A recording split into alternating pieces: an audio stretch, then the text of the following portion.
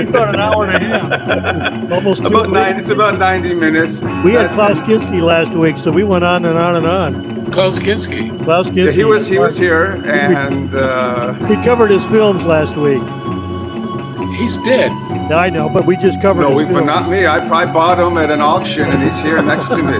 we showed a bunch of his trailers and posters, and you know. He was an interesting guy. Hello, everybody. Welcome once again to the Spaghetti Westerns podcast, the only podcast dedicated to spaghetti westerns and the people who made them. Uh, we have a very special guest uh, today, but before we introduce him, let's say hi to our co host, Tom Betts. Hi, Tom. Hi, Jay. How are you? How are you? You want to mention back- uh, anything about your week? Back from the dead. Five days in the hospital for cardiac arrest. Not cardiac arrest, but congestive heart failure. but you, uh, even while they were about to cut you open, you said, wait a minute, I got a podcast to do. I said I've got Christopher Frayling on, Sir Christopher Frayling on Friday. I'm getting out of here. Oh, So okay. they gave me a life pack, a life vest, and send me home and said we'll operate you in the, sometime in the next two months. We have a we're honored to have a great guest today who really needs uh, no introduction, but he's going to get one anyway. Uh, he's a British educationalist and writer, uh, known for his um, studies in uh, pop culture, including spaghetti westerns, and uh, he has a PhD from uh, Churchill College, uh, Cambridge. He was awarded an honorary Doctor of Arts degree from the University of Bath and was appointed professor of cultural history um, at London's Royal College of Art. Uh, he was also a governor of the BFI in, uh, in the 1980s. He was then knighted in 2001 for services to art and design education. He has a wide output as a writer and critic on subjects ranging from vampires to westerns, and as I mentioned earlier, his he has specifically studied spaghetti westerns and the life and films of Sergio Leone. He's written four books, which I'll name right now: Spaghetti Westerns, Cowboys and Europeans, from Karl May to Sergio Leone in '81. Sergio Leone, Something to Do with Death in 2000. Sergio Leone, Once Upon a Time in Italy in 2005. And the great, great book, Once Upon a Time in the West, Shooting a Masterpiece, not too long ago uh, from 2019. He's also done audio commentaries for Duck You Sucker, A Fistful of Dollars, for a few dollars more, and The Good, the Bad, and the Ugly. So it's my honor and privilege to welcome to the Spaghetti Westerns podcast Sir Christopher Frayling. He says I can call him Christopher. You know, thanks for inviting me. It feels like I'm coming home. Uh, I can talk spaghetti till the cows come home. Well, so can Tom and I. So this should be a fun uh, interview. Uh, we're honored that you took the time out to talk to us. We have so many questions regarding the genre we'd like to ask you. And uh, I guess what we'll say is we'll aim for the heart, Ramon. Yeah, indeed, indeed. That's what you got to do. Otherwise, you'll never get me. Right. Well, let's let's talk right off the bat. First things first. You were recently honored at the Almeria Western Film Festival. How did that go? Oh, it was great. Uh, I couldn't get over there because of COVID, but um, in fact, uh, here's the award. Wow. Hey, the Almeria Western Film Festival. It's a Western guy with uh, bat wing doors coming into a bar in Almeria, and it says uh, a prize Desierto de Tabernas, Sir Christopher Frayling, October 2021. And I was thrilled. It was um, uh, it was a great event. Uh, you know, all sorts of dignitaries there and people representing the neighbourhood. And uh, I, I gave a talk for about 20 minutes, all about the importance of Almeria in in the Italian westerns uh, and the landscape, which is something that people don't often talk about. You know, the great ramblas, the great canyons, uh, the great deserts, and how you've really got everything in Almeria. And and what a shame it was that uh, in the 1960s uh, there was no infrastructure for making film there, so that you had to send the rushes, the dailies, off to Madrid to get them processed, and then they'd come back, and then they'd be scratched or something, and then you had to do them again.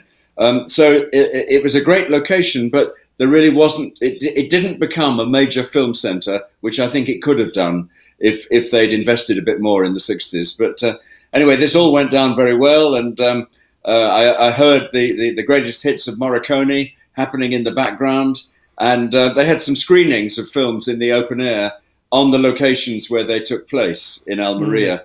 So I'm sorry I wasn't there at the party, but um, they say they're going to invite me next year. So with luck, with COVID all over, uh, I'll be able to go over uh, next year and uh, and enjoy myself there. It was a great event. I was very touched actually, and uh, um, and it, it, yeah, it was it was a good day. Um, my first official question to you on the podcast takes us back to the beginning of uh, your love for spaghetti westerns. I think it was 1967, and you went to the cinema and uh, you saw a fistful of dollars. And uh, how did that particular event change your life that set the stage for the next 55 years or so of spaghetti western research and writing about the genre? Well, um, it was it was very strange. It was um, uh, in in Cambridge. I was still at college in Cambridge, and they have a thing called the May Ball, which is an all-night dance that actually takes place in June. Don't ask. Anyway, it's the May Ball takes place in June, and so we're at the beginning of June of that year, and I'd had it, I danced the night away, and it was five in the morning, and I'd had a terrible row with my girlfriend. Uh, I think we realised during the course of the evening that we weren't really suited to each other, and uh, so I was feeling fairly glum, and I was trudging the streets of Cambridge and at lunchtime, I drifted into the cinema that was showing Fistful of Dollars. And I'd read one or two reviews, which in, in Britain were pretty bad. You know, they, they, they said um, it was an ersatz American Western, that it was brutal, and uh, uh the music was strange, and the costumes were strange, and the performances were strange, uh, and the dubbing wasn't very good, etc. But I drifted into the cinema, and I absolutely loved the movie. There was something about the style of it, uh, the design, the costumes, the landscape, the music. Uh, you know, instead of having Aaron Copland and symphonic uh, American folk tunes, here was a Fender Stratocaster guitar, a, chorus uh, singing incomprehensible lyrics, and, and a youthfulness. There was a youthfulness about it. I, I remember that, that the actors were younger than American Westerns. I mean, at that time, the, the heroes of American Westerns, John Wayne, Jimmy Stewart, uh, Gary Cooper was dead already, but uh, you know they were getting on, and they were still making westerns. But you know, you sat there wondering whether they could still get on a horse or not. You know, they were getting, they were getting a little bit elderly, and here was this youthful feeling of everyone was in their late twenties and early thirties. Anyway, I sat in the cinema and watched the film through twice because in those days you had continuous performances, and it became a kind of crusade to persuade other people that this movie had more going for it than the critics had said. So I started writing about it, um, trying to do a bit of research. But I discovered that you know the reviews in Italy were equally bad, and the reviews in the in the United States uh, when the film came out weren't very good either. So it was sort of me against the world at that stage. Um, and, uh, uh, and and then I mean the next gosh what was the next big thing? Um, because in the United States the three films came out one after the other, you know, because there was a little copyright difficulty with Kurosawa, Akira Kurosawa Productions, because A Fistful of Dollars was derived from Yojimbo without permission. The film was delayed before it was released in the United States, but they came one after the other. You know, the beginning of the year, Fistful of Dollars, in the spring, for a few dollars more, and in the autumn, The Good, the Bad, and the Ugly. So it created this huge splash. And I happened to go to the United States in 1968 for the first time in my life on a Greyhound bus from uh, New York across to San Francisco and down again. And I saw an all night screening of the three Dollars films in San Francisco. And it was an extraordinary experience because uh, the, the air was full of the sweet smell of success. I mean, you know, everyone was smoking dope.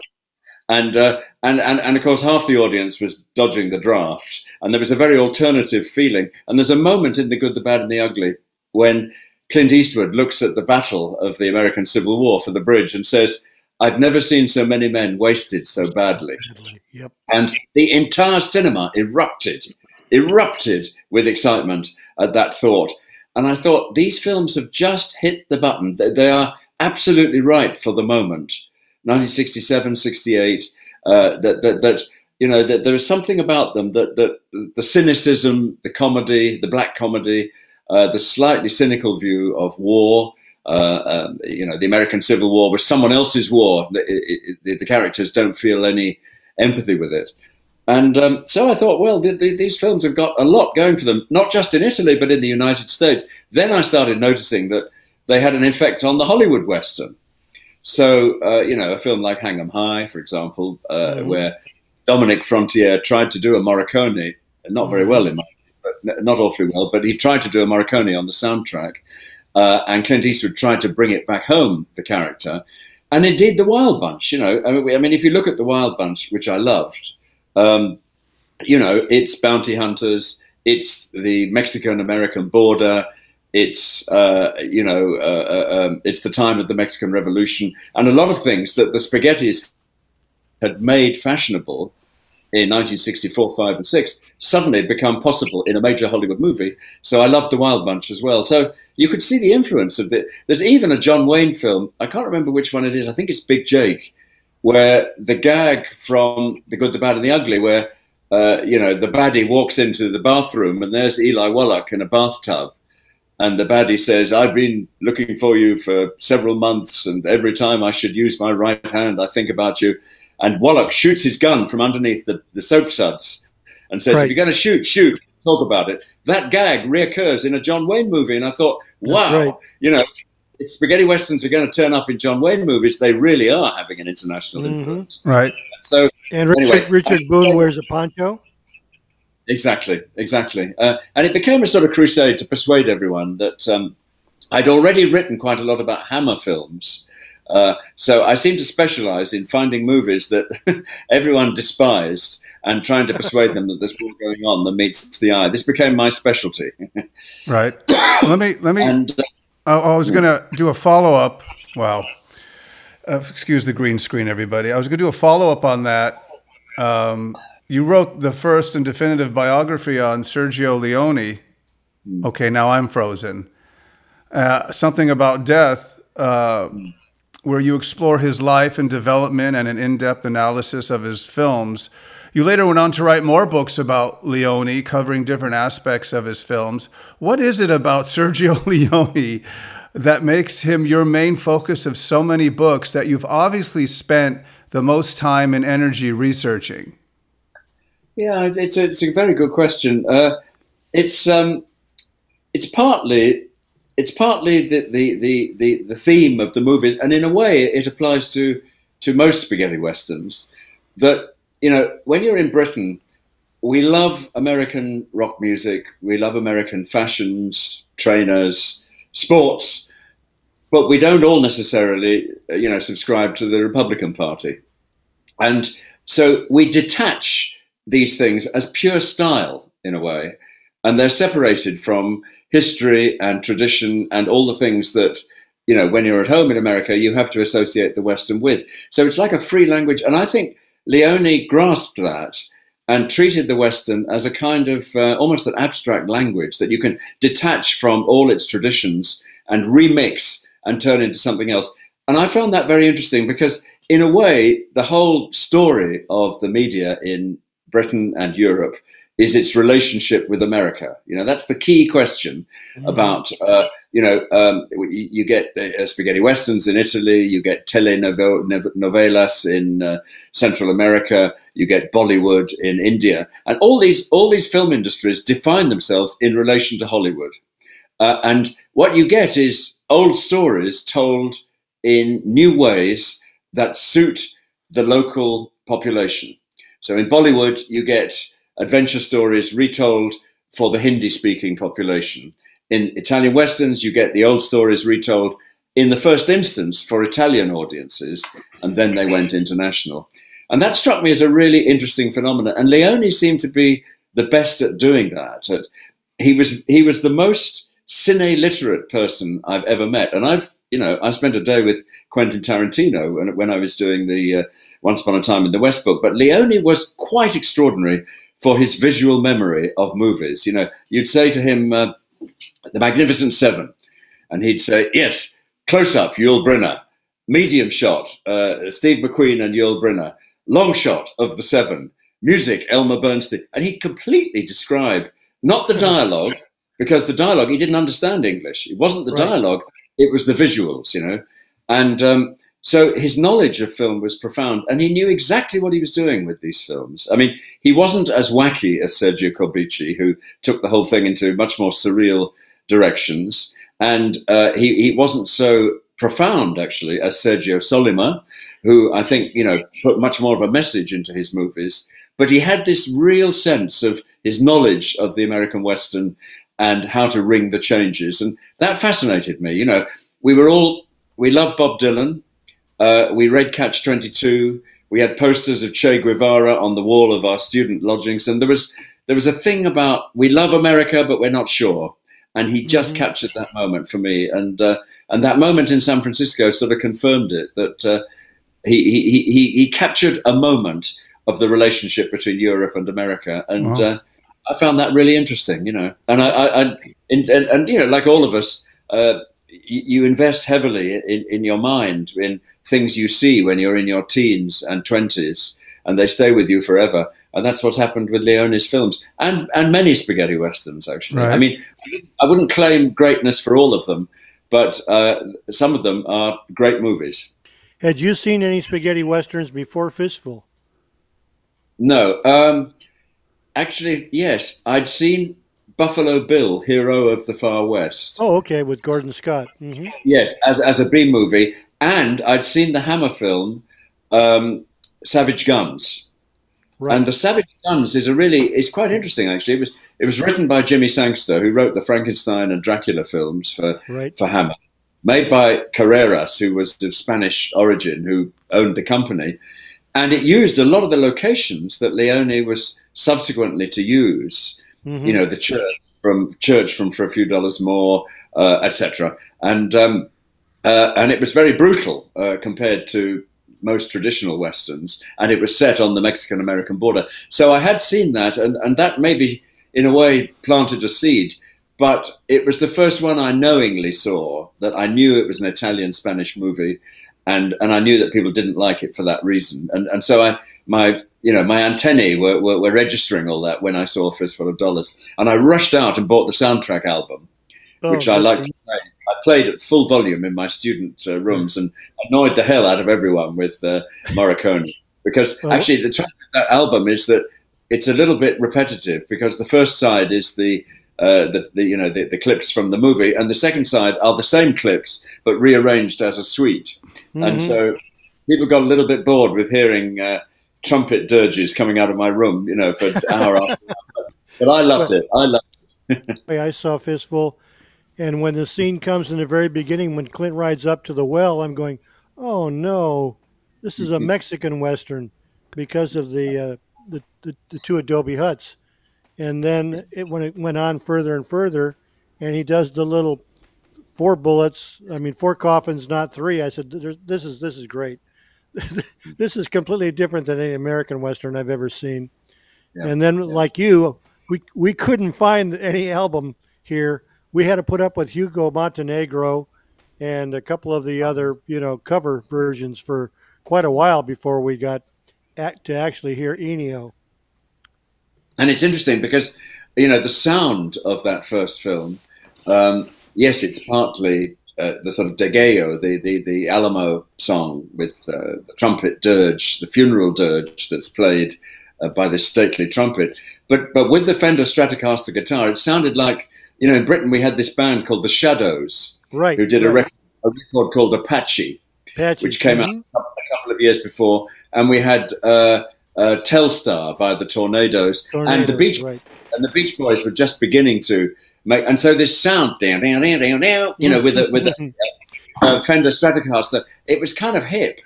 Yep. You know, at the time. It, it chimed with what was going on in the in the pop charts, and, and that was a surprise as well because mostly westerns were big symphonic scores. Um, you know, a school of Aaron Copland and his two students, uh, Elmer Bernstein and Jerome Moross. You know, Bernstein did uh, the Magnificent Seven, and Moross did the Big Country. And there's a sound, you know, big orchestral. It's a big country, so let's have a big sound and rearrange American folk tunes for a symphony orchestra. So when you hear a trumpet dirge and down, down, down, down, down, you think, wow, that is really strange for a Western.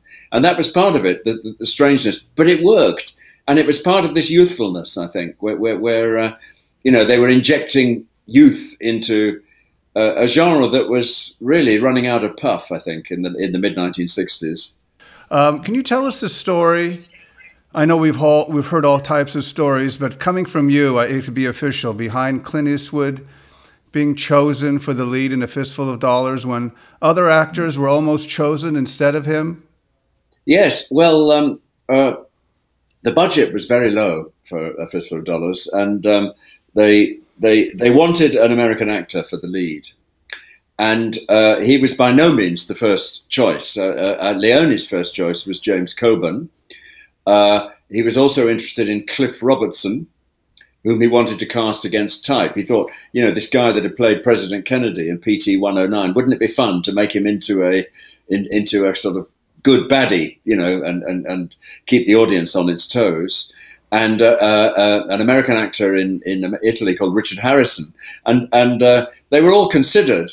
And then one day, the uh, uh, representative of the William Morris Agency in Rome screened an episode of Rawhide was actually called Incident of the Black Sheep, which is about the conflicts between the cow people and the sheep people. And there was Clint Eastwood. And Leone always claimed, it sounds apocryphal, but I don't know if it's true, but he had he had this still of a 10 by 8 black and white still of Clint Eastwood in Rawhide, and that he doodled uh, a beard on him and bigger shoulders and you know a Mexican looking poncho and a hat pulled over his eyes um, and tried to rough him up a bit. I mean, remember that Clint Eastwood's image in Rawhide was was like Pat Boone or Ricky Nelson. You know, there he was in a check shirt, and in fact, he brought out a record uh, with this rather gentle tenor voice that he had, um, where they were trying to sort of launch him as a, as, as a cowboy singer. In fact, I think it's come out. Uh, the the album of Clint Eastwood's cowboy songs has been reissued from the late fifties. But you know, he was the clean cut boy who who he was the one who got the attractive girl, while Gil Favor, the trail boss, just bossed everyone around. But uh, the, the Leone sort of saw something in him if he was roughed up a bit. So he was sent the script, and uh, the the problem with the scripts that were sent out was that they were very badly translated. Um, at that stage. They couldn't afford decent translations, which they could later.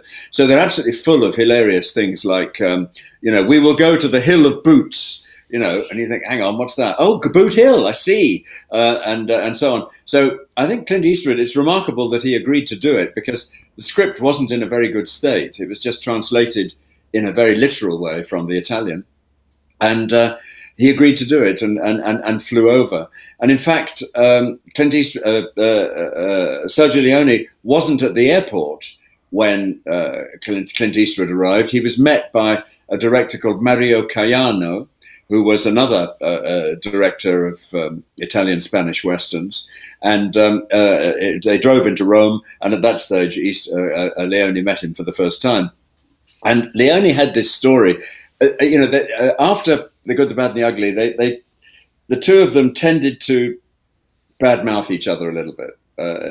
anyway, they, you know, they'd had they'd worked together three times, they didn't work again, and they weren't awfully complimentary about each other. And Leone said this this rather funny thing. He said that I asked him what he what he thought of uh, Clint Eastwood when when he first met him.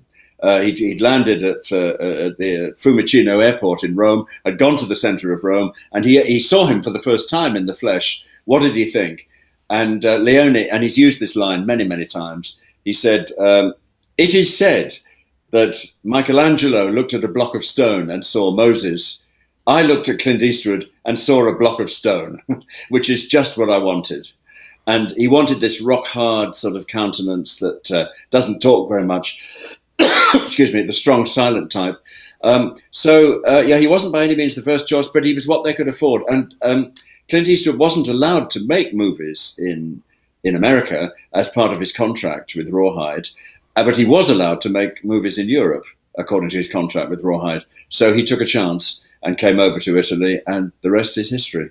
going back a, a, a, little bit to what Chris said before about the soundtrack, was by that time in the '60s too. Um, if you had any vocals in the soundtrack, it was an opening song, and it was so refreshing for me when I first saw the Fistful of Dollars was the whistling of Alessandroni. That caught my ear too. That that was something yeah. I liked from the '50s, but they had done away with it basically by the '60s. So yes, that's yes. that's amazing. You get it in Gunfight at the OK Corral, don't you? Where they bonk. Yep, exactly. And, and uh, you know, which is slightly reminiscent of what Morricone did, but as you say, it had it had rather gone out, and it was very good whistling. I did an interview with Alessandro, and he said, um, who died actually a couple of years ago, but he he said, uh, you know, where most people whistle, about 40% of their whistle is air. So you right. get this rather you get this rather reedy sound. But in his case, over 90% of it is whistle. He has this very piercing whistle when he whistles, and um, yep. That certainly comes over. And of course, it became part of the sound of spaghetti westerns. Let me ask you this: This is something that I, I find hard to believe, or some people who are not old enough may remember or not remember that Leone's westerns were met with harsh criticism uh, when they were first released in the U.S. Why do you think that was, and what do you think changed over the years that they're now revered and considered classics? Well, I think at the time uh, that people felt, you know, the Western was American. That that uh, two great art forms invented in the United States, jazz and the Western. Uh, and you know, uh, you can't take that away from me. You know, it, it, it, these were American uh, they were about American history, American traditions, American actors, American music, American landscapes. And how dare an Italian move, come in and, um, uh, you know, and try and take it over? Uh, to which Leone replied, uh, you know, Fritz Lang was German. He made Rancho Notorious. William Wyler was French. He made The Big Country. Uh, John Ford was Irish. he made all these cavalry movies. So he wasn't the first non-American who had uh, uh, made made Western movies, but he was the first to make them outside America. Uh, and I think it was a kind of proprietary thing, partly, and partly the style came as a hell of a shock. You know, I think in those days people associated the Western with uh, movies about history and movies about tradition. And the Italians were quite obviously making movies about movies. Now, Leone had never been to America when he made Fistful of Dollars. Excuse me. And uh, he'd never been to America, so his sole knowledge of the American West was either from books borrowed from the American Information Center in Rome at the Via Veneto or from other movies. So these were films about films. Now, today, most movies are films about films. They're full of references to other films. They, they sort of wink at you and, and have all sorts of references to classic Hollywood movies and other movies and so on. And that's very commonplace. But in the mid 1960s, that was very, very rare. Films were thought to be about the real world. And here were a series of films about other movies. And I think people felt a bit threatened by that. Uh, so, yes, the, the, the, the, reviews in the United States weren't, weren't awfully um, complimentary the irony is, of course, you know, dissolved for 50 or 60 years. and, um, you know, Italian Westerns are now more fashionable than American Westerns, which is such an irony, you know, that, uh, you know, Hollywood keeps trying to relaunch the Western, but it never, it never quite leads to a new genre. It, it, they, they become one-offs, really. But uh, the Italians, the clothes, the music, Clint Eastwood, the Almerian landscape, Morricone, all of that is much, much more fashionable, I think, than uh, than the American Western. So Leone didn't live to see it, but wherever he is, I think he must be smiling because the whole thing has reversed really in the last 60 years. But, but that's partly because movies have become more about pure style and less about the real world, you know? And so people don't want their Westerns to be about the real world necessarily. Look at Heaven's Gate. You know, Heaven's Gate, incredible research they got the hats right, they got the clothes right, they got the faces right. As somebody said, you know, um, it's all very well to have detail, but do you need to know the blood group of the horses? You know, it was incredibly detailed, and nobody went to see it. Uh, they want myth, they want adventure, they want excitement, uh, and uh, and they want style. So, you know, in a way, the Italian westerns had more going for them for the modern cinema audience uh, than the American ones. Uh, Tarantino, when I interviewed him, said that uh, you know whenever, whenever he got in film studies courses, all these young people who want to become directors, he'd show them classic Hollywood movies, and they showed no interest in them at all. Till you get to Leone and Corbucci, and suddenly they see the birth of modern cinema, the birth of the jukebox movie, where the music is written in advance and the movie is constructed around the music. The birth of a hero who's no longer a crusader, but is a kind of style statement, the modern action hero. Uh, the birth of rather hip soundtrack. And suddenly the students go, yeah, yeah, let's watch those 1960s movies. They see them as the birth of modern action cinema. Whereas everything before then rather bores them. Now that, that may not be a particularly good thing, but I think it's very interesting that, that these films uh, really pointed the way towards the future of action cinema. I want to ask you about Carlo Simi. Uh, mm. One of the best things about the Leone movies are the sets, mm. and he was a he was the number one guy that designed a lot of the sets, like El Paso. Yeah. And uh, I saw recently, even he got involved in the um, uh, Indian uh, no cave uh, shoot in um, once Upon a Time in the West, where Henry meets yes, Mr. Building, building the Indian village. Yeah, yes, exactly. I, I, thought that that was a, a real. Indian, so did I. You know, yeah, I, I, saw people with ladders up there and working on them, and I mean, there may have been something there at one time that they added to, but I didn't know that he actually worked on that too. The yeah, cliff, sort of cliff dwellings.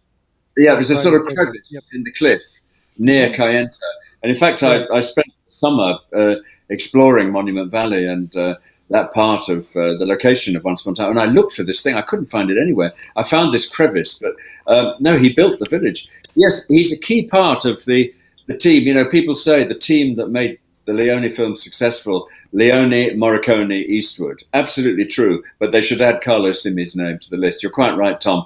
Uh, you know, he was an architect by training. Uh, he designed one or two films before uh, Fistful of Dollars. Uh, but uh, Leone chose him, and he had this ability to to do larger than life buildings that were just like the larger than life atmosphere of the whole movie.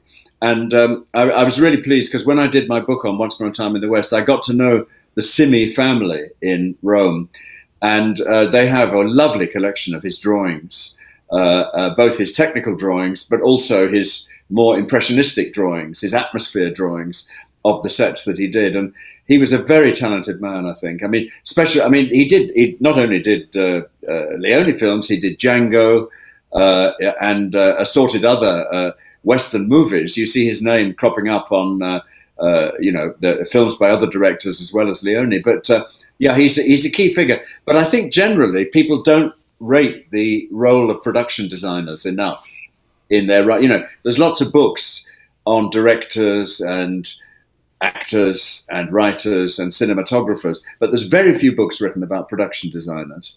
And I think they're a key part of the team. I did a book, um, not not with the westerns, but uh, I did two books with Ken Adam, the guy that designed the first seven of the Bond films. And you know, you cannot imagine those films without the missile inside the volcano or uh, you know, the Aston Martin that that, that uh, fires you know machine guns out of the out of the headline. You know, that those the sets are integral to those films, and they're very much part of the experience. And I feel the same way about Carlo Simi's role. By the way, they were friends, Ken Adam and Carlo Simi. They knew each other very well. But uh, uh I feel the same way about Carlo Simi that that these larger than life Western villages. Well, it's a mixture of real villages in Almeria. You mentioned that scene in uh, a, a, beginning of a fistful of dollars, Tom, where they come across these uh, this adobe village. That's a real village in uh, San Jose and, yep. and etc. So you had the real villages, but then you get the Bank of El Paso or the the street in El Paso, or and these are Carlo Simi sets, some of which are still standing. And then by the time of Once Upon a Time in the West, this wonderful set of Sweetwater, the the ranch house, which is absolutely vast and I, I made a great discovery. I couldn't understand why why it was all made of wood. You know, it's the same with John Ford films that. Uh, in the middle of Monument Valley, you've got a ranch made of wood. Where the hell did they get the wood from? Yeah, you know?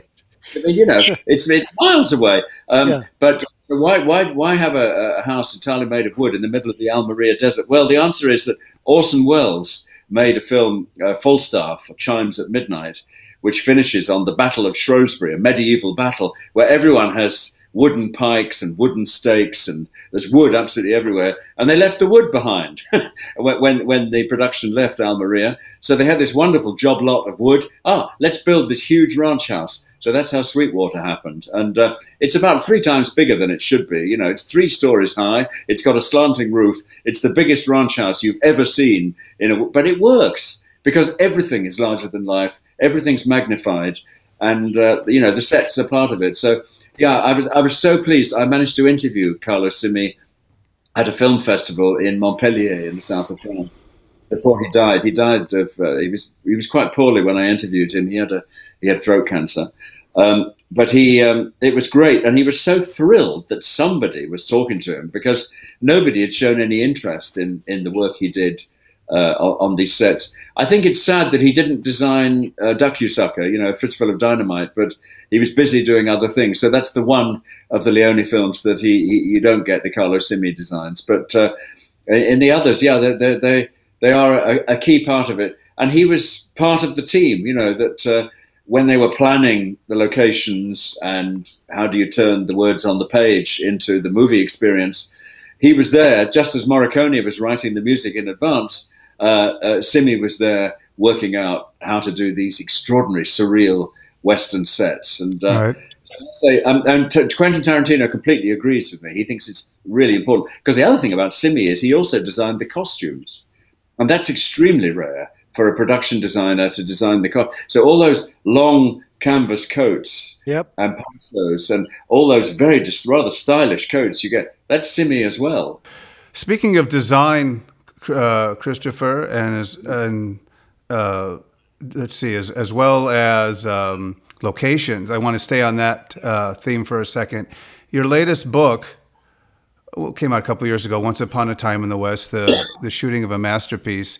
You share a wealth of never seen before documents, designs, and photographs.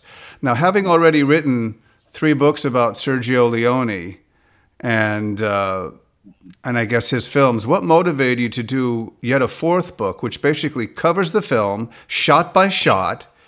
And I'm I'm, f- f- I'm actually curious to where as you stumbled upon these newly unpublished artifacts that that previously were unpublished in your other books. Yeah, no, it was. Um, I was very lucky actually. I mean, I had quite a lot of material when I did the Leone biography. I interviewed uh, all his associates, uh, and the Leone family were very helpful to me in opening doors to find and meet these people in Rome. And I did lots of interviews, and I only used bits of the interviews in the biography. So I had on tape uh, interviews with all the key people who were involved in Once Upon a Time in the West. Then uh, I, developed a relationship with the Cineteca di Bologna, which is the uh, Italian film archive in Bologna in northern Italy. And they have the archive of um, Angelo Novi, who was the, the, the set photographer and the stills photographer on uh, uh, Good, the Bad, and the Ugly, uh, uh, Once Upon a Time in the West, and Once Upon a Time in America. So they have this vast collection of negatives and positives and photos of the shooting of those films, and they very kindly agreed that uh, I, I, could use them for the book. So that was great. I had the interviews, I had the photos, and then I had a real piece of luck. A young research student who was researching a PhD on the real identity of all these actors who hid under pseudonyms in uh, in Italy in, in, in the mid, uh, you know, a lot of the actors developed either Italian or American pseudonyms, uh, and in fact came from all over the world. And he was fascinated by this phenomenon. So he was studying that in the government film archives in Rome.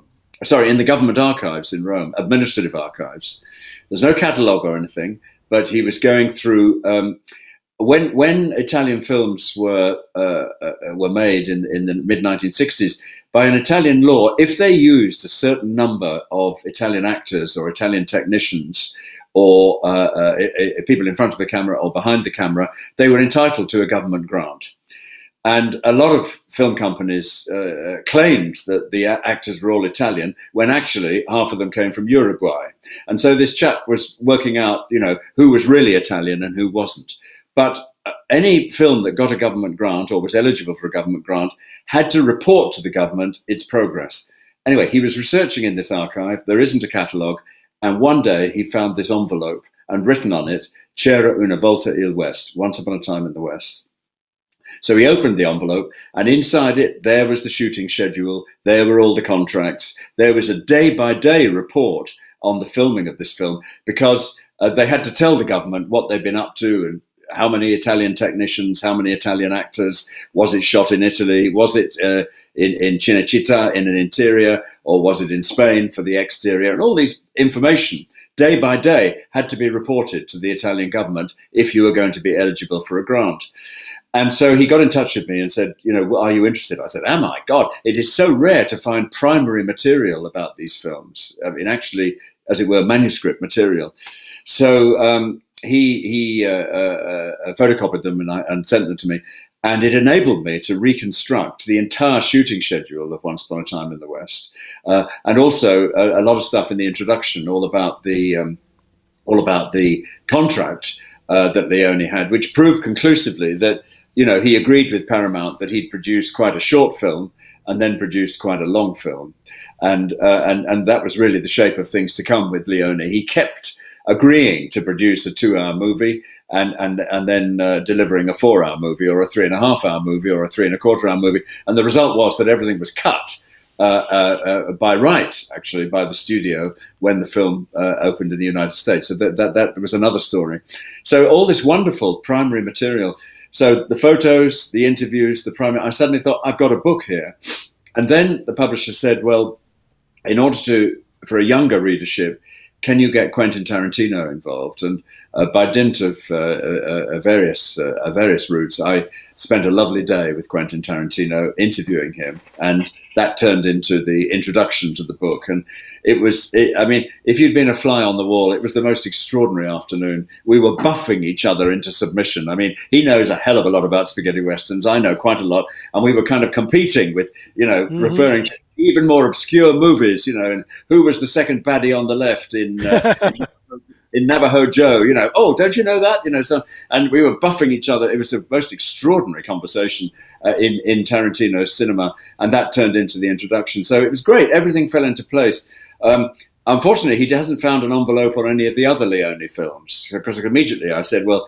Can you find the good, the bad, and the ugly envelope, or the a few dollars more envelope? But because it's not catalogued, there are just thousands and thousands of administrative documents in brown envelopes, and you know, one day someone may find things, but uh, you know, you, would find it by accident rather than by design. So uh, so far, we haven't found any more material uh, from that source. But uh, no, it was great. It enabled me to dig a lot deeper than I had before uh, from the Italian sources, and uh, I was very pleased about that. And I, I got a couple of extra interviews, which I, I, hadn't done, but with the assistant director, Giancarlo Santi, and one or two other people, which I did specially. And um, so I'm, I'm, you know, it came out pretty well, I think, and the pictures are lovely. Angelo Novi's stills are really beautiful of the the filming of it. It really makes it come alive, I think. Just a little bit of trivia here, and he Christopher knows this. Angelo Novi was in The Good, the Bad, and the Ugly. he plays mm. a padre at the mission when uh, Tuco takes Clint there to recover. He's the padre mm. that helps him take him out of the carriage into yeah. the uh, into the mission.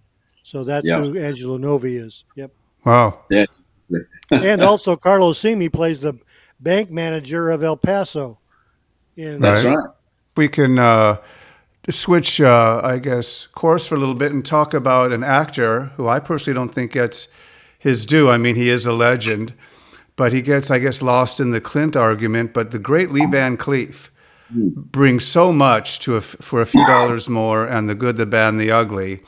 Uh, I mean, he's one of my favorite actors, as well as a lot of uh, our fans. Can you tell us uh, your opinion on him and uh, how great you think he is? Oh, it's great. Oh, I think he's he's amazing. I, I, he um, and it shows. I think uh, Leone, and I mentioned Leone's encyclopedic knowledge of American movies, and he remembered, you know, High Noon and uh, Tin Star and Gunfight at the OK Corral and all those movies where uh, Lee Van Cleef usually got killed in the second reel. He was the, the second baddie on the left, and he loved the way he moved. Uh, you probably know that Colonel Mortimer in For a Few Dollars More was originally to be played by Lee Marvin, who pulled out in order to make Cat Ballou about five weeks before the shooting was to begin. So Leone had a problem. His second lead, he didn't know who, but he remembered. He had a long memory for this.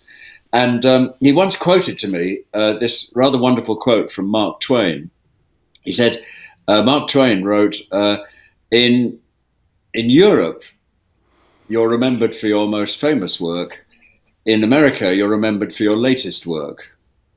And that he said the thing is that in Europe, we remember these actors from films of long ago, long after they've ceased to be superstars. And in fact, Lee Van Cleef's career was in decline. I think one of the movies he made just before uh, For a Few Dollars More was How the West Was Won, where he has one line. He's a river pirate, and he stands there uh, at Walter Brennan's uh, uh river pirate uh, uh, hideout and says, "They're coming." That's it. and he didn't even get into the credits. And you know, you look at the souvenir program for How the West Was Won; he's not in there. So his his his career was in decline in a way, but the Italians have long memories. They remembered those movies. They remembered the way he moved. They weren't so worried about his voice because, of course, they don't record direct sound in Italy. They record it afterwards. So that could all be sorted out in, in post production. So he goes over to Italy with a suitcase full of dollars and, um, and, uh, and casts Lee Van Cleef as Colonel Mortimer, which led to this extraordinary career in Italy where Lee Van Cleef became, when Clint Eastwood went back to America, became you know, probably the biggest star, American star in Italian westerns, in lots of, you know, the, the Grand Duel or, um, you know, there's so many films, The Big Gun Down, uh, the, the Tonino Valerii film, etc. Um, and uh, uh, so, yes, and I, I, he was just right. He, he, he was a very patient actor. You have to be patient because, you know, you, you just have a guide track when you're making these Italian films. So everyone speaks in their own language and it's all dubbed afterwards. So you've got to be very patient, and you don't really get a full performance until in post production, where you go to the dubbing studio or the looping studio and put your voice in and everything. So he had to be very, very patient about uh, how his performance would be sort of constructed around him. It's a very different kind of acting to to method acting and uh, you know uh, uh acting from inside uh, which is more more the American style of the 1960s. And so, and he carries it off. Fantastic. He's got the most wonderful face. He walks in this very distinctive way, largely because he'd hurt his leg very badly in a car accident, so he has a slight limp. He hated riding horses. He was frightened of riding horses, according to Leone. Uh, so he had to have Andalusian circus horses to uh, for him to ride, so that he could trust them and they wouldn't throw him. Do you remember in the Good, the Bad, and the Ugly, where as the bad he arrives at the beginning at the farm where yep. there's a well and there's, there's this high stepping horse that looks it out as though it's come out of uh, you know a magic circus. Um, it's a sort of it's obviously a circus horse that he's trot trot trot and he's lifting his feet. You expect him to be in the big top, uh, and Lee Van Cleef looking quite relaxed sitting in the saddle um, because he was he was very paranoid about horses bolting because he he damaged his leg and he, and uh, he didn't he you know he couldn't have coped. So all of that. And the other thing, which is rather wonderful, is that if you in the good, the bad, and the ugly, one of the close-ups now we're getting really detailed. Now we're getting to the blood group of the horses, right? Um, as his hand, Lee Van Cleef's hand, creeps round to his gun, you notice that the end of his finger is missing. And at the opening of an exhibition I did at the Autry Museum called Once Upon a Time in Italy, a few Tom will remember, a few in 2004, uh, I met Mrs. Van Cleef, and I said, "Forgive me asking, but how did Lee Van Cleef lose the end of his finger?" And I was expecting, you know, some, uh, he got into a gunfight or he got into a knife fight.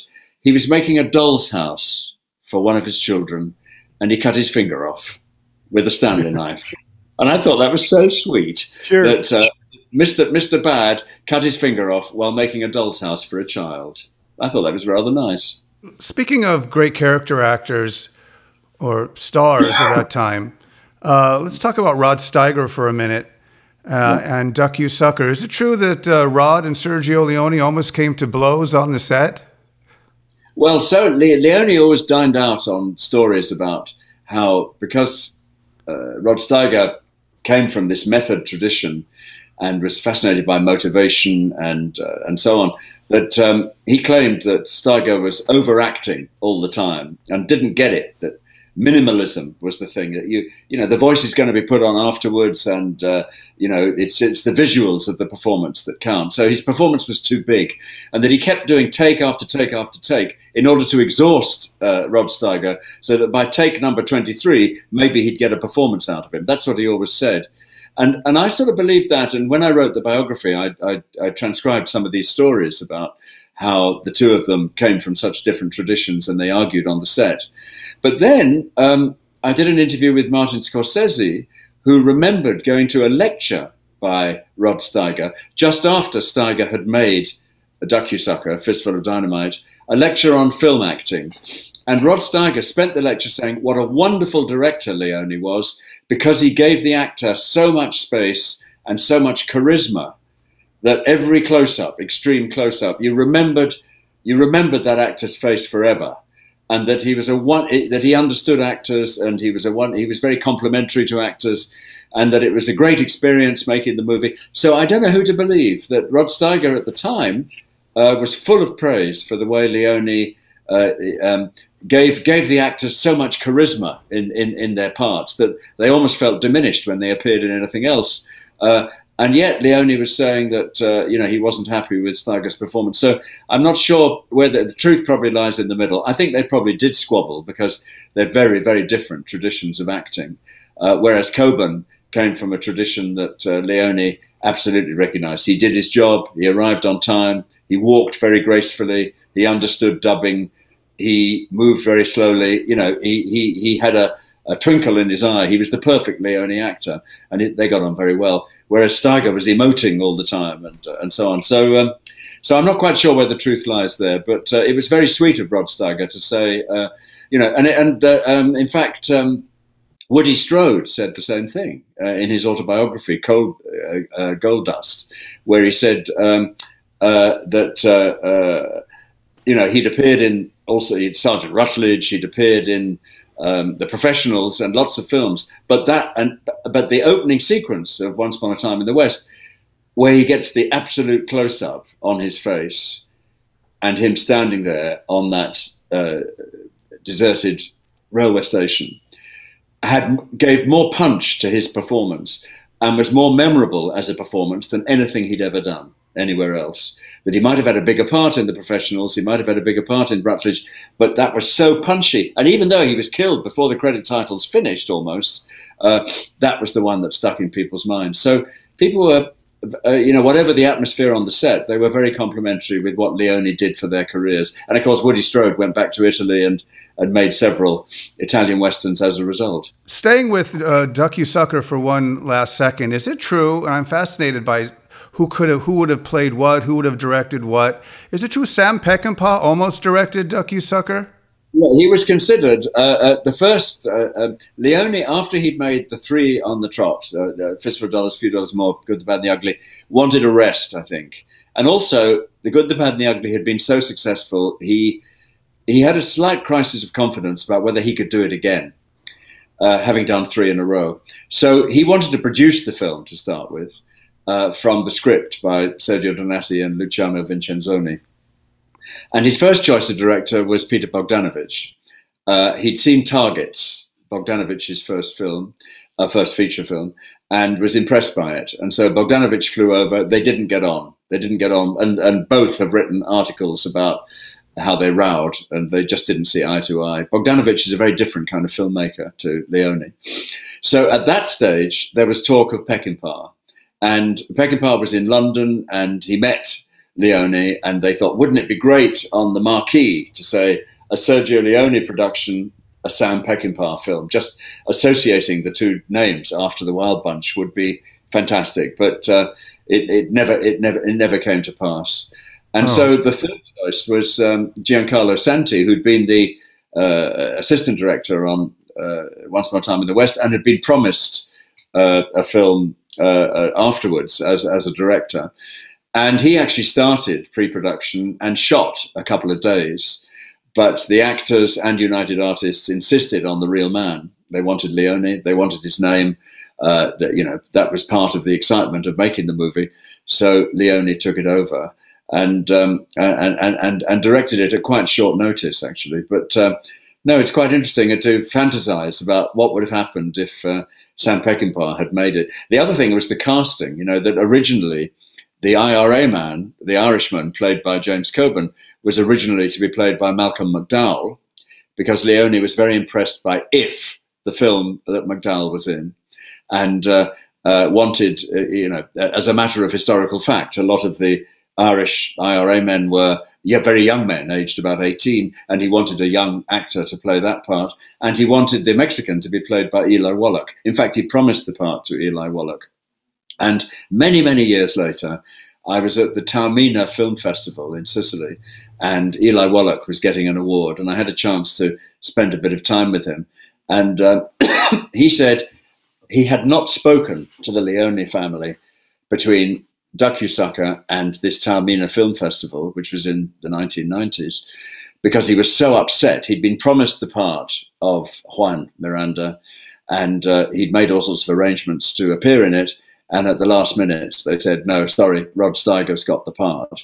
And he was so upset, he broke off all contact with Leone. And, and threatened to sue him.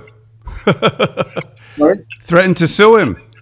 Well, he did. He threatened to sue him, and uh, apparently Leone Leone replied, "Well, get in line. You know, everyone else wants to sue me as well. You know, it all got a bit distasteful." Anyway, at, at Taormina, he embraced Carla Leone, Mrs. Leone, and the family, and they made their peace. It was rather nice, and uh, uh, after all those years, there were no hard feelings. But yeah, no, he.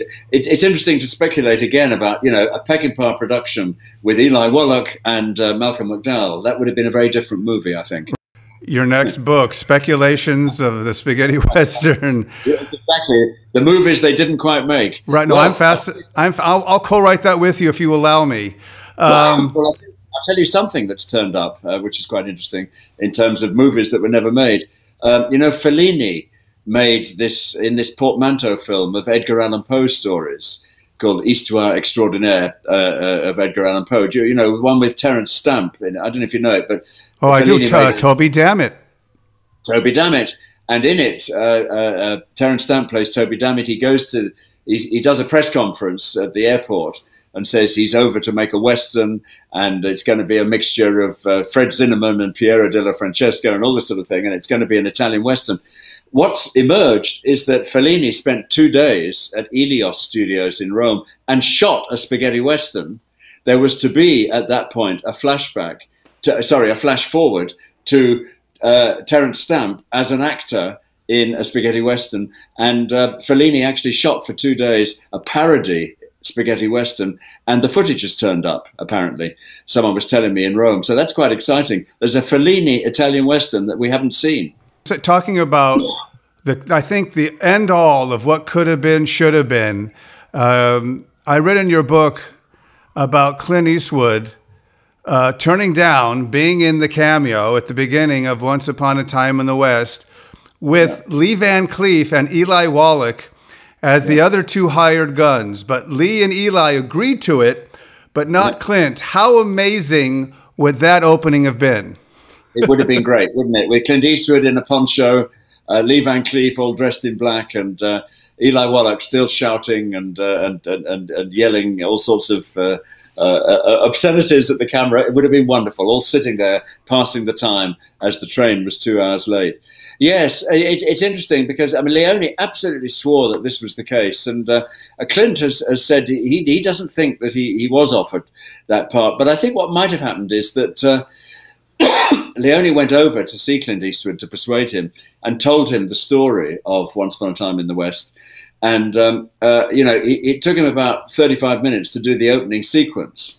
And Clint Eastwood thought, wow, you know, where's this film going? Uh, it, it, seems to be very slow and uh, it doesn't sound like my sort of movie. And there may have been a translation problem that Leone thought he was offering Clint Eastwood the part, and Clint Eastwood thought he was being offered harmonica because he has said that he was offered the Charles Bronson part, harmonica. But that's difficult to imagine. It's such a different character to Clint Eastwood, but uh, maybe that's the case. Anyway, it's a wonderful fantasy. Spaghettis that might have been. I right. think we should have a we should have a season. I always wondered why they just didn't say yes when Sergio asked them.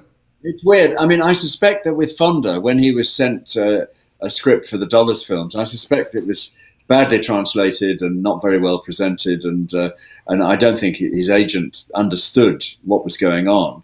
Whereas by the time of Once Upon a Time in the West, um, you know, the, the script was properly translated uh, uh, you know, they commissioned a, a, a, a, translation that's actually very like the uh, the final dialogue, and it was beautifully presented. And also, uh, Henry Fonda phoned his friend Eli Wallach and said, "Should I do it?" And Wallach said, "Yeah, of course you should. I had a wonderful time making the good, the bad, and the ugly. You you you you, you must do this movie." So by then they could talk to each other about it, and there was a kind of tradition emerging.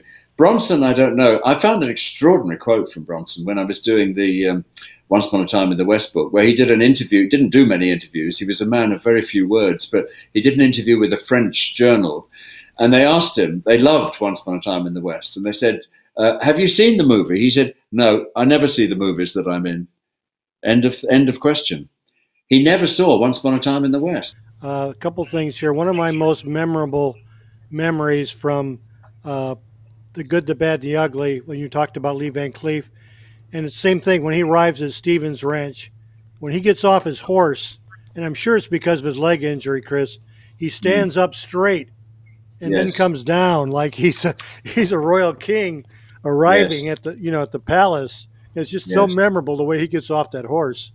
Yes, uh, yes, yes. The other, the other thing is, I thought that I had heard that the reason that they finally settled on Steiger was the producers or the production company insisted on him because he had made um, in the heat of the night.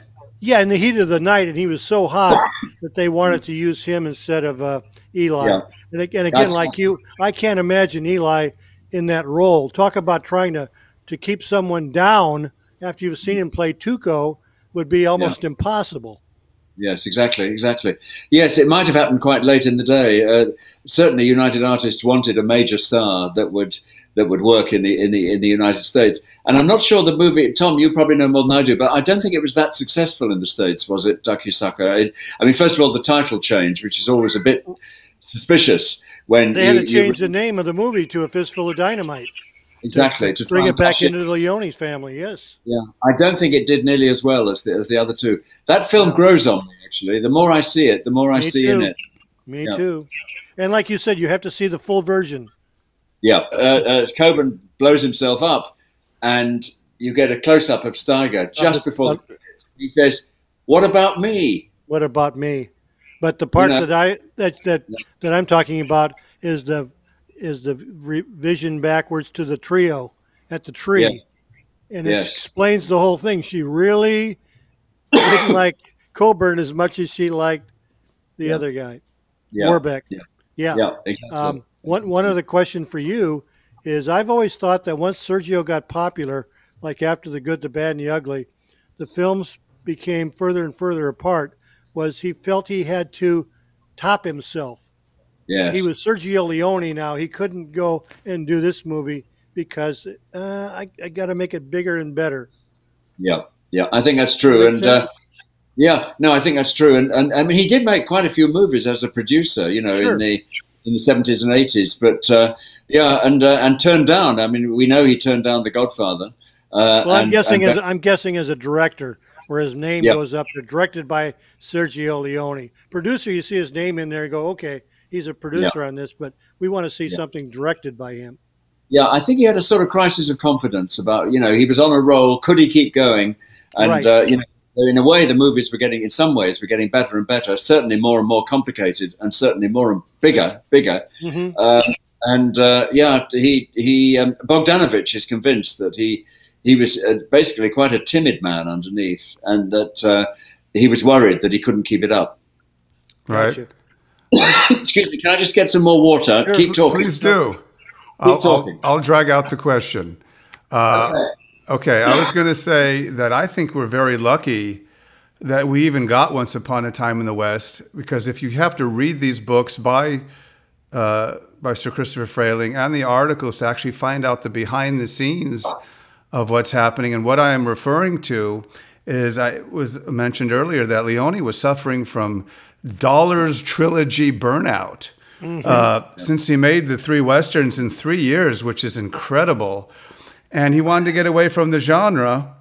And so he decided he wanted to make his original gangsters concept once Upon a Time in America, which he actually was able to uh, many years later. But the studio said, uh, You do the Western version first.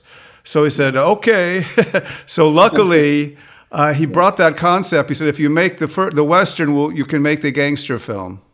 Yeah, yeah. And it was a very different Western, wasn't it? I mean, uh, they thought they were going to get, you know, Son of the Good, the Bad, and the Ugly, I think, uh, to keep the Dollars theme going. And they got a very different movie. You know, instead of his usual scriptwriters, uh, Sergio Donati and others, he, he uses Bertolucci and Argento, who Right. write the original story.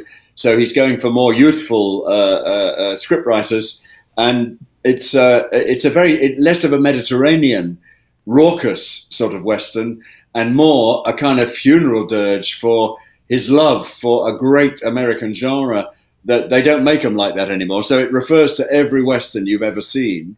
You know, I did a list in the book of uh, all the references to Exactly. um, Hollywood I was just going to say that's so interesting because now when I watch it, I look for those scenes from other Yeah. movies that he has redone and added Yeah. to Once Upon a Time in the West. Absolutely, and and you know, and the people confirmed that's what they're doing. They watched in those days 16 millimeter and 35 millimeter prints of these films, and uh, uh, and, and you know, there were key films like Johnny Guitar by Nicholas Right. Ray and The Searchers by John Ford, but lots lots of quite obscure ones. and it was a very different thing. They they were they were they were saying how much they loved the western as a fairy tale once upon a time, and colliding it with American history in the West. And so, you know, when when he produced the film for Paramount, I think they they weren't sure what they'd got. Really, they hoped for the good, the bad, and the ugly, and what they got was an extraordinary, you know, uh, two and a half hour, three hour art film about the Western.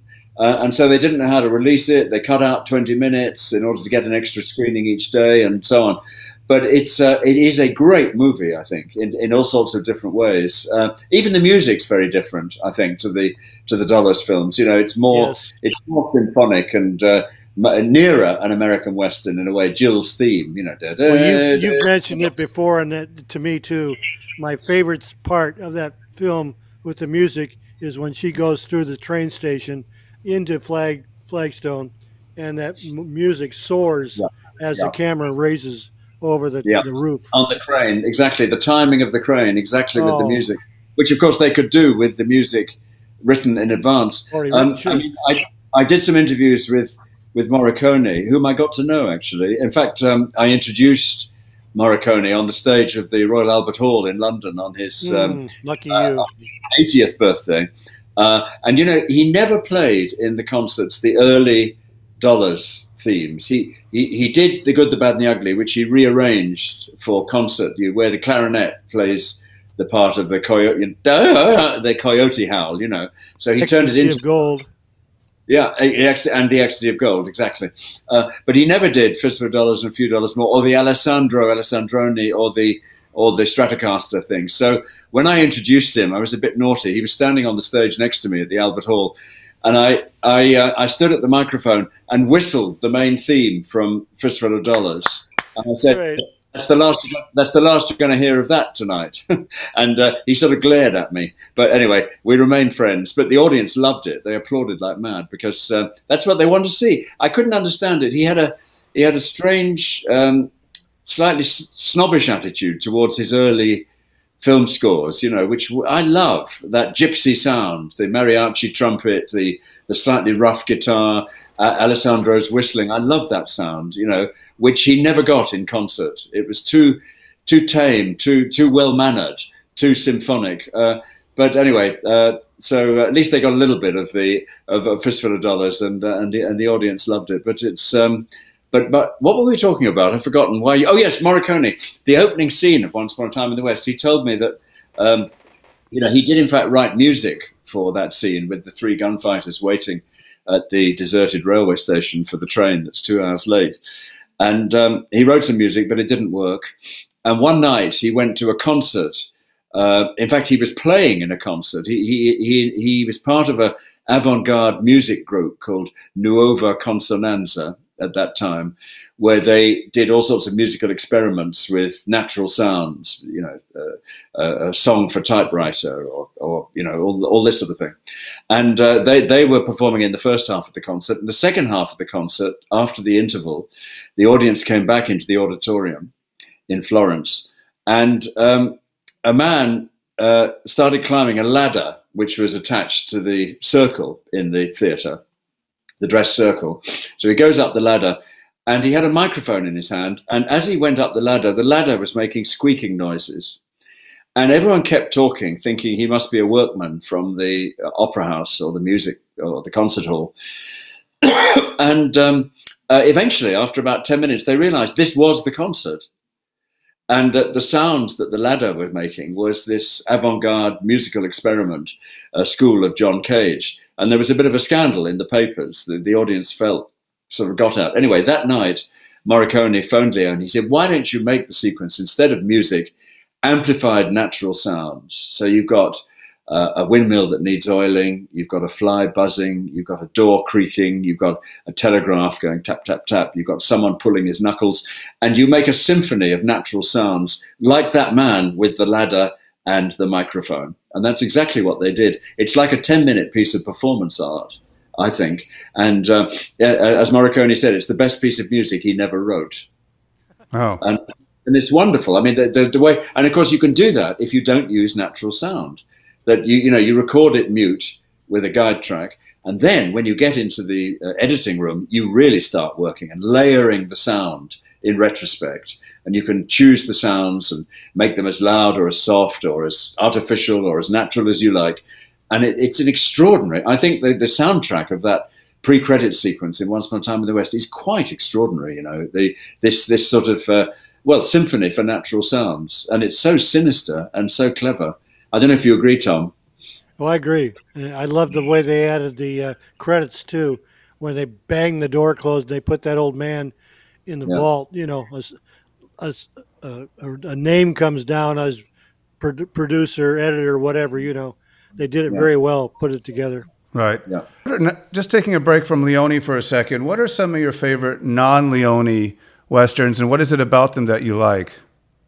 Boy, well, I love the big silence. Um, I, I, I, I, love the Morricone score in that, but uh, I like the unusual setting in the snow in the Dolomites in northern Italy.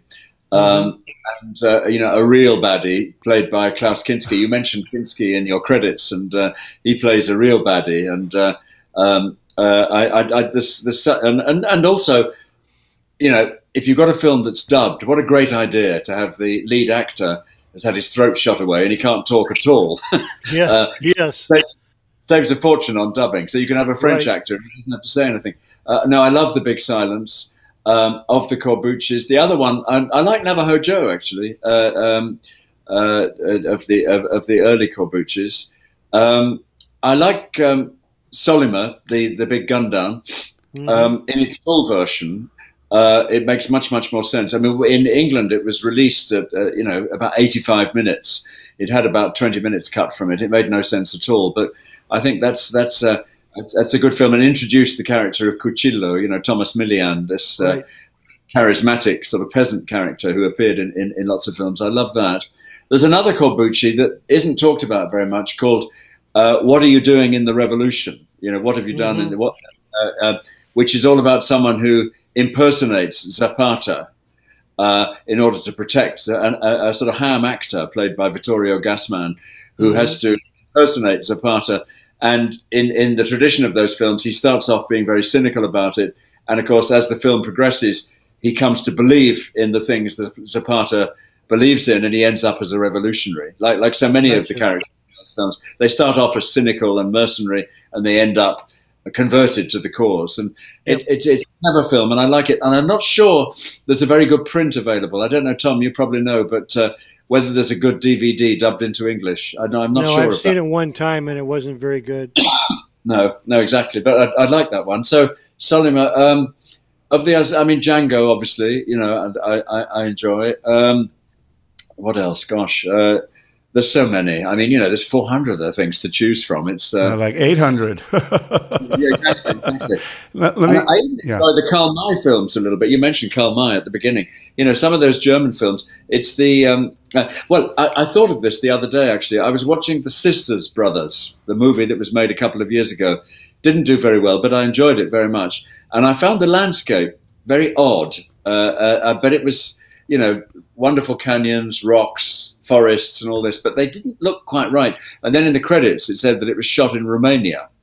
Uh, and I thought, oh, that's interesting that, that you know the Wild West has moved to Romania. Well, I felt that about the Karl May films that they were shot at Split on the Adriatic coast, and the wonderful forests and lakes and uh, mountains of that part of uh, Eastern Europe uh, look absolutely wonderful in the Karl May films. It's the oddity of the visuals that so often intrigues me, the costumes and the settings and the locations. And uh, uh, so I think the Karl May films maybe are ripe for a, a reappraisal a bit. Uh, some of them are really very good, I think. I was going to ask you about spaghetti westerns before that. You, I think I read about in 1961. You said there was, I think, a few of them. Such, I'll, I'll cite them here. Uh, the Spanish westerns, such as Tehran City, Savage Guns, and The Coyote. Is it because they contain foreshadowing elements of what was to come later Yes. on, like like violence and corruption and revenge and uh, a loader fighting against all odds? In your in your view, what constituted an early spaghetti western? Well, there are some elements that, that definitely relate to the later films. That usually there's a very sort of taciturn, uh, uh, strong, silent type as the hero, and very flamboyant Spanish actors playing Mexicans, sort of wheezy baddies. You know, you you you, you get that. Uh, in the case of Savage Guns, as I mentioned, you actually have the locations in Almeria that were subsequently used by Leone and many others. Um, and the other connection is that a lot of those early films were produced by a man called Alberto Grimaldi. And Alberto Grimaldi was a lawyer uh, from Naples who got into the film business producing minor Spanish westerns in the early 1960s. And uh, I mean, Leone always claimed that um, he discovered uh, Grimaldi, and Grimaldi was nothing before he, he produced uh, um, uh, for a few dollars more. But actually, he had produced several films. And I, I interviewed Alberto. He died actually very recently, a few months ago. But uh, I interviewed Alberto about two years ago, and I said, you know, in a way, you were the father of the Italian Western because you produced those early films, you got them distributed in Italy, and you eventually ended up producing for a few dollars more and the good, the bad, and the ugly through your company, PEA, uh, uh, Production European Associates. And so, you know, you're the link between those early films, struggling to find an idiom that was genuinely European rather than a copy American, a link between those films and the films we all know and love made by Leone. And that there was one link between them, and that was Alberto Grimaldi, because he went on to make all sorts of films with Bertolucci, Pasolini, and uh, you know Last Tango in Paris, and Visconti, Fellini, all sorts of people. But his start in the business was with these small westerns and with the with the westerns of Leone. And uh, Grimaldi said. Uh, his first tussle with the Italian censors, he, he had a lot of tussles with the Italian censors about particularly Last Tango and some of the Pasolini films. But he, um, uh, his, his first tussle with the Italian censor was the scene in The Good, the Bad, and the Ugly where Sergeant Wallace build, uh, beats up Tuco, Eli Wallach, while the concentration camp orchestra plays outside. And that was thought to be too brutal for universal exhibition in Italy, so they gave it the equivalent of an 18 certificate when it first came out. And Grimaldi appealed, and they said, well, you're going to have to shave that sequence and remove some of the brutality in order to get general distribution. And they came to an agreement. So when the film was uh, on general release in Italy, uh, they, they managed to get it a universal certificate. But he said that was the first of many tussles with the Italian censor. Uh, later on, they'd become much, much more serious, where films were actually banned in parts of Italy. But uh, I thought that was interesting. He said the other thing was that um, it was the, the first sign that Leone would ignore his contracts where the length of the film was cut. He had a contract with Grimaldi to produce a film of, I forget what the length was, shall we say two hours? And he overshot it by a mile. and said, "Don't worry, Alberto, it's fine." And you know that was the shape of things to come. He did the same thing with Fistful of Dynamite, and that's why so many scenes were cut. He did the same thing with Once Upon a Time in America, and that's why twenty, uh, well, whole chunks of it were cut. And there's so many different versions of these films that, and and the same with Once Upon a Time in the West. That, but the first time he did that, said Grimaldi, was was with Good, Bad, and the Ugly, where although he was contracted to produce a film of a certain length, he just thought, I'll get away with it. I'm enjoying myself so much. Let's make it a long movie. And that was the shape of things to come. And it backfired for poor old Sergio, I think, because, you know, what they did to Once Upon a Time in America broke his heart, literally. Mm-hmm. And, um, uh, you know, and he died shortly afterwards. Uh, right. It was, you know, it was recut by one of the people who cut one of the Police Academy movies, and they just removed whole chunks of it and made it chronological instead of lots of flashbacks well, sequential. Right. That's definitely one of one of the travesties of uh, of all time. I wouldn't want anyone from the Police Academy movies cutting one of my films. Really? Right. Tom has an opinion. Uh, Christopher, I don't know. Tom, why don't you share with what how you think the spaghetti western should have went? Uh, was it Spanish or the Mexicans should have kept it going? The Mexicans. Why don't you explain that? Um, I always thought that once the uh, spaghetti western started to nose dive and go away, even though we had some great spaghetti westerns in 77, 78, uh, that they would have gone to Mexico. I mm. mean, Mexico had the same look. I mean, that's what they the Spanish tried to copy. That's where the architecture came from. They same the same buildings, the same huts. They had American producers, directors, stars, only only hundreds of miles away instead of half a world away. Um, mm. They had already had a production, uh, you know, they already had produced thousands of films, so they knew how to make movies. But yeah. uh, it, they made a couple of copies of spaghetti westerns, but I would have hoped, I guess, that that's where the spaghetti westerns would have gone for another four or five years. That's interesting. That's a very interesting thought. I hadn't thought of that. Uh, yeah. I mean, it was right there in their backyard, and they didn't take advantage of it, and it would have yeah. helped their uh, industry quite a bit by using yeah. all the American actors and directors and writers. Right. Yeah.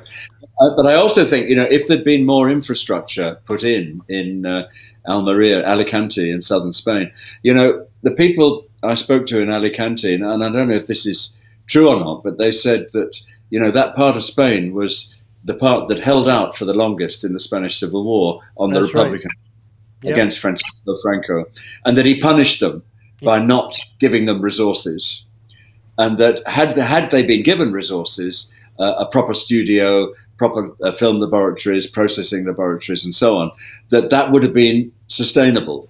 And that the great boom, the production boom of the mid 1960s in Almeria, would have turned into a major industrial, uh, you know, complex.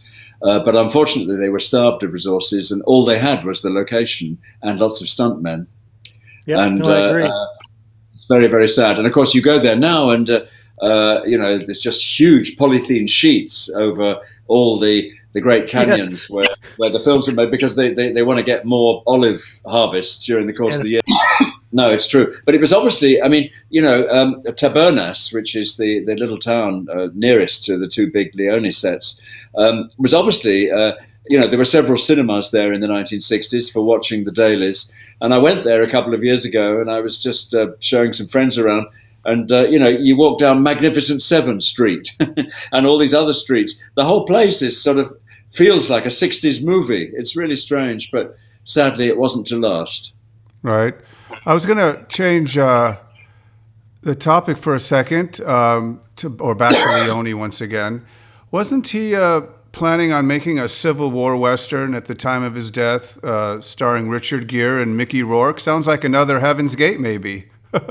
yeah, yes, it was uh, two rogues uh, going through the based um, I, have read the treatment actually, uh, which he wrote with um, uh, Luca Morsella, uh, the son of his brother-in-law Fulvio Morsella, who was one of his producers. Uh, yeah, it's two rogues, um, con men, getting stuck in the middle of the Civil War, and it was based partly on the work of Ambrose Bierce, you know, the short stories of Ambrose Bierce, partly on Mark Twain, Roughing It, uh, and uh, and partly on movies about the Civil War. It has a slight feeling of the good, the bad, and the ugly. It's it's two rogues who feel the war's got nothing to do with them, and they just want to make as much money as they can out of the war. And he wanted, uh, yes, um, uh, uh, Richard Gere and Mickey Rourke, who at the time were were the you know the stars of the moment. He also wrote, um, which I keep hearing is being actually made, a TV series called Colt. Uh, which uh, uh, the idea was to have a, a, Western TV series where each week a series of hour long episodes would plot the history of this weapon. So, episode one in the Colt factory uh, in uh, uh, Connecticut, wherever it was. Uh, and then by the end of it, it's a rusty old gun in the Wild West, and a grizzled old timer is, is, is using this gun that doesn't really work anymore. And you just see all the stages in between. So you tell the story of the Wild West through this one gun from mass production through to the end of the line. And he wanted Clint Eastwood to play the elderly gunfighter in the final episode, if it was possible. And uh, this is what he said. But I keep hearing that they're, they're, going to make it, and I heard that Robert Altman was going to make it, and then I heard that they were going to make it for Italian television. There was a rumor. I don't know, but uh, that was the other idea that he had uh, towards the end. It's a good idea, I think. It's quite clever. Uh, uh, and it could make a great series if you had a great, great guest star in each episode, you know. They're they're making a Django TV series in Italy. Oh yes, it's already yes. started filming, so you know there's there's still hope. Yeah, exactly, exactly. Right. Uh, Tom, I was going to ask uh, Christopher because well, we've had this discussion over. Uh, well, you can't smoke cigars anymore, but we used to. Uh, how is important is it, uh, Christopher, that this of the spaghetti western genre is today as compared to what it was back in the 60s and 70s. I know you touched upon it earlier when you said, you know, there was a, there was a Vietnam War and there was like a counter revolution going on. So the theme was always in that. But upon today's eyes, I don't know if it doesn't matter what age you are, you can be 30, 40, 50, but when you put in the Blu ray or the DVD and you watch a Leone movie, you watch The Great Silence or Day of Anger, what do you think the difference is in the mindset of people watching it then than it is today? Gosh. Well, I think, um, God, that's that's an interesting question. I mean, it, it, um, I think you can see you can see in those films uh, the birth of the, the modern action hero. I mean, some people say that uh, you know the birth of the modern action hero is James Bond in Doctor No, which preceded Fistful of Dollars.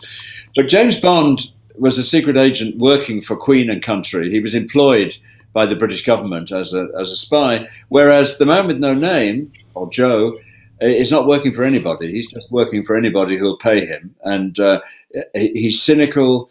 He's he's not a crusader. He's very very stylish. He's very very professional. He's very good with a gun, and he's very very cool in the way he strides through these movies. And that is, you know, uh, Stallone starts there. Bruce Willis starts there. Schwarzenegger starts there. Uh, the modern action hero start. It, it all begins, I think, with that persona of the man with no name in the Fistful of Dollars. So I think people see that. Um, the music, well, uh, you know, so many movies today are jukebox movies, which are people, uh, you know, have their favorite rock songs and they construct the movie around the rock rock songs, whether it's Tarantino or Baby Driver by Edgar Wright or all these other, particularly action films, which are built around favorite uh, themes of uh, re recordings. Well, that starts with Morricone writing the music in advance of Once Upon a Time in the West. That was the first time that had happened, where the movie is actually shot round a score that's written in advance. So all those jukebox musicals that are so fashionable today actually begin in 1968 with Once Upon a Time in the West. And you can track, and the style, the, the, the, the costumes, the, the, the emphasis on style rather than on moral belief or standing for things. You know, that a man's got to do what a man's got to do, or uh, there are some things a man can't ride around. All those things are the traditional Western. Instead, you have um, basically the hero is the hero because he's the most stylish and because he's the best at it. And, uh, and, and he looks the best. He's a kind of style statement. You, you don't identify with him because of what he believes, you identify with him because of what he looks like and how he carries himself. That starts with the Italian Western. So I think there's all sorts of points of identification with modern cinema. Uh, and um, which is why, uh, you know, uh, as Quentin Tarantino said, you show the good, the bad, and the ugly in a film school, and everyone immediately recognizes it as the birth of today's cinema. Today's action cinema. I'm not claiming that all movies are like that, but but action films, Marvel films, the Marvel universe, all those things owe an awful lot to Italian westerns. I think uh, emphasis on production design. On in a way, you're telling a very similar story. I, I mean, I agree with Chris. I mean, uh, shortly after Fistful of Dollars or the spaghetti western genre into the 70s, um, you never saw an American cowboy without a three day growth of beard. I mean, immediately they all wanted to look like Clint, where in Yeah, the past they were like Audie Murphy, you know, or like you said, J- James Stewart. They were all clean shaven. Uh, the first thing you saw in the morning in a scene was a guy standing over a pan of water with a razor, looking at a mirror tacked to a tree. Uh, it was Yeah. all clean shaven, clean looks, uh, clean towns. So yeah, that's all uh, influenced the uh, films of today. Even even without being a cowboy, a Schwarzenegger figure's got a growth of beard uh, when Yeah, you and- see him. and- yep. And look at the, look at the long coats in the Matrix. Yes, the dusters. Yes. Yeah, they come from Once Upon a Time in the West. You know, long coats. It became obligatory to wear a long duster in whatever movie you were in, whether it was gangster, police, or, or western. You know, and uh, Right. that comes from Carlo Simi's costumes in in, uh, and I, I, in Italy. a lot more And- flat, a lot more flat brimmed hats. Yes, yes. Uh, you know, and, and there's a cartoon-like quality to it. You know that uh, a character comes in and he's wearing this larger-than-life costume, and you, you learn an awful lot about the character's uh, his character, his personality from what he's wearing. And there's a cartoon-like quality to that. You know, where Mhm. you, you you know he's he's sort of um, he's so much like himself. It, well, it, it's it's like the characters in um, uh, the Hateful Eight. You know, where where where Tarantino was trying for that. Where the Yep. moment they appear in those costumes, you know a hell of a lot about them, and they were all derived. from Carlo Simi. Right. In fact, Sartana movies, all sorts of movies came into uh, came into uh, Tarantino's film. Moving on to another subject of Blu-rays and DVDs, which I guess have replaced the um, the 16 millimeter film or the VHS film. And it'd be nice if uh, I could show up. There we are. And uh, what do you think the advent is? Now you get crystal clear, almost 4K quality, so these spaghetti westerns can be enjoyed to its fullest by older fans like us and by new generations. Are are you appreciative of the of the new, uh, I guess, Blu-ray disc format? Yes, I mean one slight problem is that uh, the, uh, uh, in these films they wore an awful lot of makeup, uh, and uh, you know to give themselves sort of a dark tan of the border country where they where they were living, and uh, and they you know they they they they, um, they they're wearing more makeup than we're used to in Hollywood movies, and sometimes that shows up on Blu-rays and 4Ks that uh, you can see the wig line and the makeup and so on. So. Uh, uh, in some ways, they're more detailed than they should be. But uh, no, it's great. I mean, you know, turn up the Morricone soundtrack to full volume and just wallow in the 4K version of The Good, the Bad, and the Ugly. It's. Uh, can you imagine a better way to spend an evening? No, I, I, I actually can't. Uh, let me ask you regarding that. You're also very well known for doing audio commentary for many of uh, Leone's spaghetti westerns. Is the process, does the studio or Blu ray distributor contact you before they produce the DVD, or are you called upon afterwards to, da- to lay down your commentaries? Uh, it's after they've chosen the print. Uh, and they play the print that will be uh, used on the DVD, and uh, I speak to that. So, for example, in in uh, Fistful of Dynamite, uh, uh, Duck You Sucker, uh, my, my my commentary is to the the print before they put in the extra sequences or, some of the extra sequences. So it's slightly out of sync, but yeah, no, it's. Um, that's a slightly endangered species at the moment, from my experience. That there was a golden age of those commentaries and extras for the DVDs in the 1990s and, and the teens. Um, and now with streaming and uh, you know documentaries that go with streaming and things, they, they, they, there, there aren't very large budgets for those extras anymore. And you get certain labels which do wonderful, like Criterion, you know, does wonderful extras for these movies, and you get the whole double disc sets with Janus Films? Sorry. Janus Films? Yeah, yeah, exactly. And Right. uh, there's some, but some of some of the bigger studios, uh, uh, you know, they they can uh, they can sell just so many DVDs without uh, without uh, the commentaries. So, um, uh, but the one I want to do is Once Upon a Time in America because uh, I did the other four. Um, I did uh, uh, Fistful of Dollars, Few Dollars More, Good, the Bad, and the Ugly. I did the Good, the Bad, and the Ugly United States, but it hasn't actually come out in England. That commentary. And I Ducky did- Sucker. I did Duck You Sucker. I did part of Once Upon a Time in the West, but I really wanted to do Once Upon a Time in America. I think Richard Schickel did it, and uh, um, who was a, a, a acquaintance of mine, and he um, uh, he used my book a lot. But I'd much sooner do it myself, actually. But anyway, yeah, there so we would we. Tom, do you have a last question uh, for Sir Sir Christopher? I want to know what he's got in the works. Do you have a fifth Right. book planned? well, no, fifth and sixth maybe. The the um, no the the publisher's interested in exploring a possible companion volume to the Once Upon a Time in the West book about Once Upon a Time in America. Possible. Uh, I've I've got the interviews with, with with everyone, and I've got access to the photographs. But I'm not convinced that Once Upon a Time in America has quite the cult following that Once Upon a Time in the West had, indeed that the Westerns had, and I'm not sure that it would do as well. Anyway, that's a question mark. But if I don't do that, what I would prefer to do is a book of um, all Leone's writings about cinema and a lot of his interviews about cinema, many of which had never been published outside Italy and Spain and France and Germany, and call it Sergio Leone by himself and have pictures from the Bologna archive of all his films as he talks about them. Mm. I think that would make a very, very nice book, and that's that's the one I that's the next one I think I I, I may be doing. It depends. I mean, if they find out that Once Upon a Time in America, there's this huge demand out there for mm-hmm. a, a book uh, uh, on the same basis as Once Upon a Time in the West, then they might go ahead. But I have my doubts. I just don't love that film in the way that I love the westerns. There's some I admire it. I think it's a great piece of filmmaking, but my heart isn't quite in it in the You way know- that it is. I, I think it, I kind of think it looks like a Godfather film, quite personally. Um, When I saw it, I, yeah, it was his version of the Godfather, at least in my my eyes. Um, the cat, I don't know. I that's I know we're getting off topic, but we're just going to talk one second about it. I enjoy Once Upon a Time in America. I actually like the part more, mostly with James Woods and De Niro as adults. That first hour, hour and a half when they're kids, I just I just deal with. Is that kind of how you feel? I quite like the kids bits actually. I- Yeah. in Well, I'm okay. Uh, what we wanted to thank you so much for um, for joining Tom and I on this special show. We've been waiting, I think, over a year to get you. You waited for the right amount. We kept raising the price, and uh, you finally accepted. But no, it's been a thrill and a once in a lifetime opportunity to talk to you and ask you the questions that we wanted to ask you about spaghetti, spaghetti western. So I hope you had at least a little fun.